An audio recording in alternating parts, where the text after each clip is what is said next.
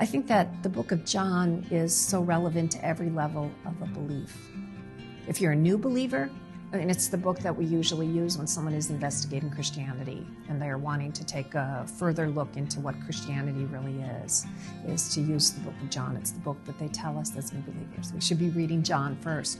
But it has so much more meat to it. And I love the fact that Pastor Mike is making it so relevant to the culture to what's going on today. It was written so many, many years ago, but he's making it so relevant to what is going on in the world today. And uh, he also brings in so many different things that we might even be thinking about with what we read in the news and stuff like that. So, John can impact every level of believer.